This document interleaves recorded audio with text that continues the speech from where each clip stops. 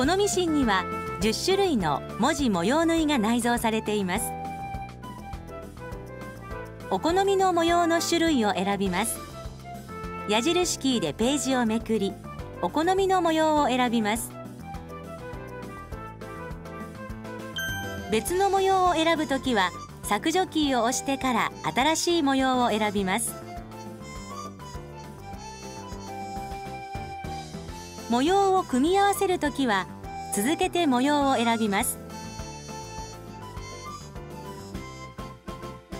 この時の押さえは模様縫い押さえ N を使用します。また選んだ模様は左右反転上下反転をすることができます。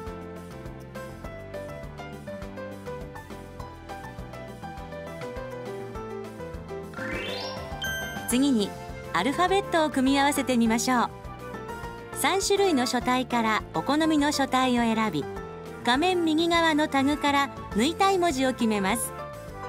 文字の大きさを選択したらアルファベットを入力していきます。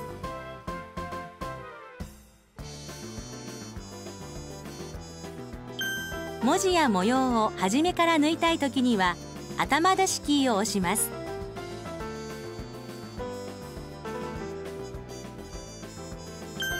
また模様を続けて縫うか一つだけ縫うかを決めるには連続単独縫いキーを押してどちらかを選んでください。7mm サテンステッチ模様は長さを変更することができます。5種類の中から長さを選択してください。